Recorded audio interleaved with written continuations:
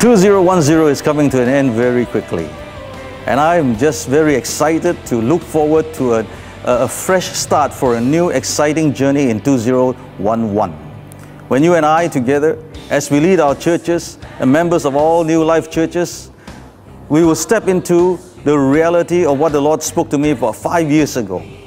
Five years ago, the Lord spoke to me as clearly as anything else that, and anything that I could ever think of. He said to me that the movement for the kingdom of heaven to come upon earth.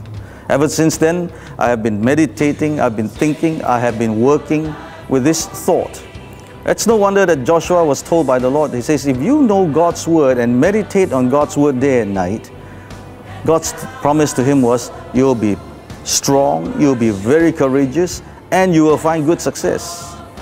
And I believe that we are on the brink of this strong boldness, courageous, and success because it's God's desire for you and your family and all your churches to come into the place of success and, and, and influence that will cause the impact of heaven upon the earth to arrive at your territory and your family.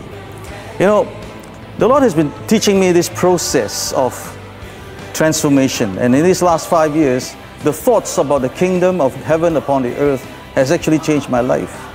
As I look through it, I begin to experience the reality of this simple process that actually developed and renewed my mind. It started with an information, but information just by itself is just like any cliche and slogan that we may be hanging on the wall and so on. It doesn't really move a thing and change anything. But you know what? When information becomes a revelation to you, sparks of faith actually comes forth.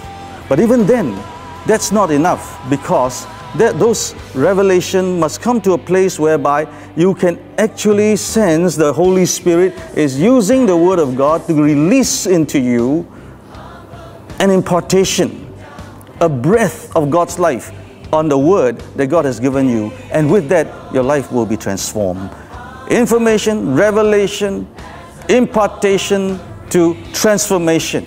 And I believe that these are things that the Lord has been teaching me. And you know what? This particular year, it's going to be your year. It's going to be my year, whereby we're going to see transformation unto the goodness and the blessings of God with heaven upon the earth in ways that we might not have ever experienced before. You know what? When God wants to inspire something, it only takes one moment. And that moment could be on the first Sunday of 2011.